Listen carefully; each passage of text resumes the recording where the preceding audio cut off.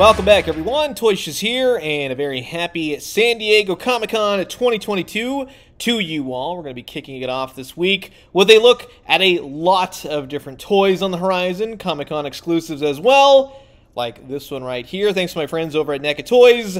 We're totally checking out their premonition of a pre-mutation cartoon Ninja Turtles. SDCC exclusive, and on the back and on the front and all over the place. Such fantastic packaging. It's very much the Turtles in Disguise box, reused, repurposed for this pre-mutation set featuring four, well, uh, very integral background characters, so to speak. Here's everyone involved with the creation of this particular set. So thank you very much for that. And of course, here is the barcode as well. Now, you should be only able to get this at SDCC, so if you didn't order it online, yeah, you have to get it at Comic-Con anyways. But you open up the box, as you can see, it's all Velcroed, and there are a lot of different surprises and such all around the box, including a nice window to see all four characters. So we have Baxter Stockman, we have Hamato Yoshi, and we have the human versions of Bebop and Rocksteady. Those are going to go really great with that Loot Crate Scrag, right? Hint, hint, wink, wink. I would love it if that uh, showed up anytime soon. But like I said, lots of little nods here and there all over the box. See which ones uh, you can spot, right? Even inside the packaging. That's where I know a little bit, uh, a, few more, we'll just say. There's a Tempestor, I'm thinking, and the Ray. Little robots here and there, the Bugman. And my favorite, the Knucklehead right there, huh? Maybe that's a coming. So, this is going to be an absolute blast. Sit back, relax, grab yourself a nice hot cup of coffee. This is a look at the brand new San Diego Comic-Con 2022 exclusive, the cartoon TMNT Premonition of a Pre-Mutation by NECA Toys. And of course, once you get everything out of the box, well, you get quite a nice set. And in true NECA Ninja Turtle fashion, they loaded up the box with lots of accessories, lots of weapons, and of course, lots of hands, right? We'll look at them all in detail. But I can honestly tell you that the figures themselves are all very nicely painted, but in pure NECA Turtle fashion, I'm going to say you might want to heat up a few of these, right? Just to be on the safe side. Hint, hint wink, wink. But uh, yeah, all four characters with all the different accessories. Man, oh man. So, you do get a Mouser. This is my first Mouser. I haven't gotten the Mouser set just yet, but it's got a lot of articulation that you would expect for a mouser with the jaw opening and closing to eat all the rats in New York City. It's got some nice neck articulation as well, and of course the legs and the knees will move around so you can get your mouser up and running and ready to attack the turtles. But just the look, everything is captured for the mousers from the cartoon iteration. Even the inside of the mouth is all painted nicely. And then you have this little device right here. Now, I did have to look these up. This is the heat-seeking turtle scope from the episode incredible shrinking turtles. Just be careful right here on these top two little pegs right here. You don't want to hit it wrong and snap them off. They seem to be very brittle, so just FYI, be careful on that. And then you have the Sarnath-O-Meter from various episodes, and Curse of the Evil Eye episode as well, if you wanted to go that route. But that's pretty cool. The Sarnath Eye, right? The Eye of Sarnath. That's uh, that would be a nice uh, nod to the whole Archie universe. Maybe we'll get some of those a going too, hopefully soon. And then you have a well, it's a butterfly net, or in this case, a turtle catching net. Be careful on the netting right here. You think it's like a an actual cloth kind of thing. It looks very good, but you don't want to go pinching it too hard. It's a plastic. Eh, just be careful. That's all I'm going to say. But overall, well done there. And then you have some incredible shrinking turtles that are inside their little glass jar right there. And that's really cool to see. You can have some instant turtle flakes right there for your pizza, right? But uh, yeah, those are air holes. And the best part is the top of the jar comes off and the four turtles inside are removable. We give them a little shake and uh, yeah, they look pretty darn cool. Now they're very, very teeny tiny. They do have some paint, which is nice to see. It's not just like, here you go, whatever. They actually put some thought in it. They're all interconnected to one another, so it's basically just one solid piece. But you can go ahead, place them back in the jar, get them all secure, put the lid on top, give it a little shake, and you're ready for some puree turtle. And then, speaking of which, you got four baby turtles inside a glass bowl. That is awesome. And all little turtles come out and they're all painted. They're all cute and adorable. And look at that right there. Four itty bitty baby turtles that are becoming the Ninja Turtles. one day. But uh, yeah, they actually look great. I love the way these things came out. You just throw them back in the bowl and uh, watch them flop around. There you go. You have a walking staff a bow staff, a stick, whatever you want to call it. That'll be good for Splinter. You can even say it's a premonition of a permutation for Splinter's walking stick, right? Crowbar's up. You got a really nice looking crowbar that you can use for Bebop and or Rocksteady. And then you got a baseball bat. Nice paint to it right there. You also have a bit of a broken piece of plywood, wood, wooden staff, whatever you want to say, table leg. Now, I'm going to say this one's kind of like, yeah, okay, thanks for the accessory. It's not really too spectacular. And you can have them hold it, whipping it around. You got two spray paint canisters, both of them with different designs on them. That's pretty cool. You can go around uh, tagging New York City, right? That's always a good thing. Leave your bebop and or rocksteady marks everywhere you go. Then, to top it all off, you got one cool looking 80s boombox, right?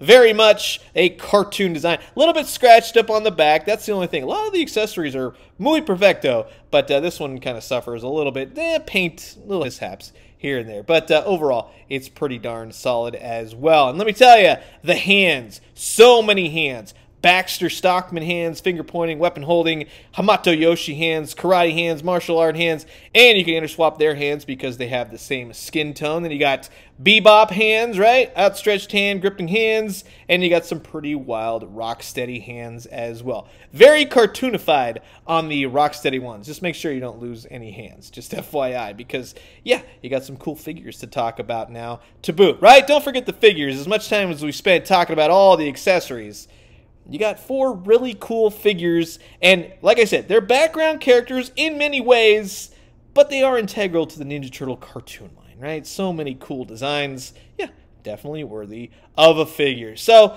let's talk about them. I know that they're kind of all in order, and I guess we'll start with, yeah, let's go with Hamato Yoshi here. And First of all, I want to point out the colors really pop on him. From the purples of the kimono, and then you got his pants with the stripes, got the white in the hair. The face is spot on that's a really great looking Hamato Yoshi. And not every day we get some pre splinter action, right? That's pretty darn cool. And right down to the line work on all the pants, pretty solid. Everything is pretty crisp, pretty lined up.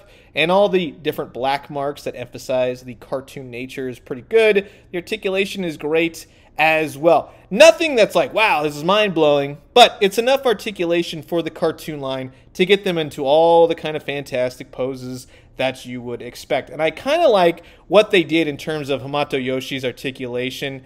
The feet will spin, you've got double jointed knees, and again, I'll tell you over and over, just be sure to heat these figures up before you really start moving them, bending them, doing everything because yeah, that's just how the cartoon turtle line goes, just FYI. But uh, yeah, pretty solid overall for Hamato Yoshi. And then let's see who's next. Let's do Rocksteady, a very pre-mutified Rocksteady. And I love the head portrait on this guy. What a, a, cartoon character brought to life, right? Look at the pants on this guy. You've got the browns, you've got the different cell-shaded tones every which way. I love it. It's fantastic. It's just a very humanized Rocksteady, but they do a great job no matter which character they're putting forth. And again, much like Hamato Yoshi, a lot of articulation, a lot of movement out of this guy. One thing I'll point out right here, within the waist, right? It's something that I would think that NECA wouldn't do. They would paint this. I think this is a little bare right here where the belt and such meet. However, it looks to be painted up top, of course, right? It kind of goes over that. Probably because it would scrape it, possibly, but... Uh, that's one thing I have to point out. I, if anything, I got to talk about it. I kind of give them points down for. You got to paint that, right? There's not much on this set. Everything's pretty darn cool. Then you have the double jointed knees again. Just go real slow. You don't want to do it. Yeah, see, this is the last thing I want to do is, of course, snap anything. But uh, yeah, like I said, whoever you do it, hot water uh, some people use hair dryers or whatnot. You got the feet; they'll rock to and fro. So again, once you kind of get him going, you see he has got a lot of articulation. Pretty solid overall. You can swap out the hands, put all the different weapons towards him, and yeah, just have a really cool looking pre-mutated Rocksteady. Which again, not a lot of figures made for this particular character. And speaking of characters, yes, we have a pre-mutated Bebop, and I absolutely love just the hair on this guy. Bebop and Rocksteady are a perfect love letter to everything that was punk rock that you would see like 70s, 80s. You know what I mean? Especially in the 80s. And he's got a lot of articulation in the neck, so it's double jointed the neck moves, and then, of course, the head moves as well. He's got his little spawn jacket thing going on, which is great. Dual shaded, red on the front, a little bit of orange on the back. And I love the zippers. The zippers are, they look realistic, and I don't know how they do It's just well painted. That's all I can say. Then you got the legs. The legs will kick out. There's no problems, much like a previous Rat King, right, where the paint started to kind of crinkle if you kind of moving around the crotch area. No problems whatsoever there. You got double jointed knees. You got these awesome, epic 80s boots right here. You got the feet man, he's just really cool. And again, when they put forth these characters, you could say, well, did they reuse this? Did they reuse that? Well, who knows, right? It's pretty well executed in every sense. But I love his gauntlets, everything else, the white t-shirt with the red, the purple hair, the glasses. This is my second favorite uh, figure for this set. And if you can't guess my first one, well, here he is. Who'd have thought it, right? Look at that hair on that guy. It's not one of those characters like, I absolutely need a human Baxter Stockman. But uh, he's a lot of fun. And yeah, going back and having watched all the Ninja Turtle episodes again, he's in quite a few episodes. So I agree with a lot of people where I said, you know, is it really necessary? Yeah, he's necessary. Don't bother with the glasses, they're not going to pop off. He's got a lot of articulation in the neck. He's got his little yellow bow tie. His arms, they got double joints. He's got some shell shading from white to a nice crisp blue, really light blue. Inside the jackets, everything fares pretty well. And of course, he's just he's a very tiny little man. You know what I mean? It's kind of funny to see that. You got the double jointed knees, you got his sneakers. Everything about this guy, as a pre mutated Baxter Stockman, again, I reiterate, you know, you're so used when you say Baxter Stockman, you go, that's the fly guy. Well, this is the guy I totally remember that in the you know of course the mirage comics version uh, back in the day. But this guy always stands out. He's just that little weasley scientist guy.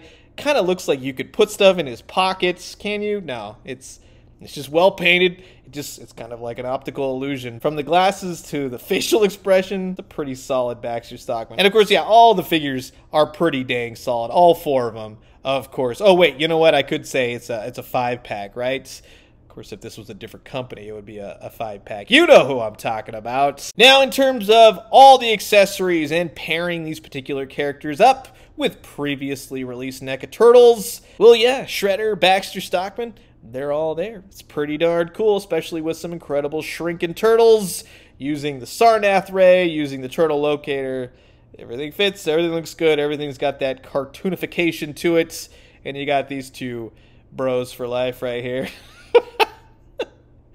what a better pair, right? I think they scale pretty dang nicely. And again, it's fun to see Baxter Stockman and Baxter Stockman in the sense of the cartoon universe. Yes, they're roughly the same size as they should be, but uh, you clothes are a little bit different. The the style's a little bit different in the colors, and yeah, perfectly reflects the cartoon. And then you have some of the accessories that can be used for all the characters, to be honest with you, but in specifically with the Ninja Turtles yeah, I think this human Baxter Stockman definitely looks good, right? this guy always got the short end of the stick. I'll tell you what. Every episode he was in, and he still got the short end, even when he became the fly. And then the Mouser is very cool. You could put the mouth over Mikey's hand, you know, just like the old video games, man. I mean, yeah, we're talking cartoons, but Mousers were always a pain, especially in Shredder's Revenge, right? Pretty cool. Uh, and then you have Hamato Yoshi, and he's going through the sewers after getting kicked out of Japan, and uh, he's got the fishbowl,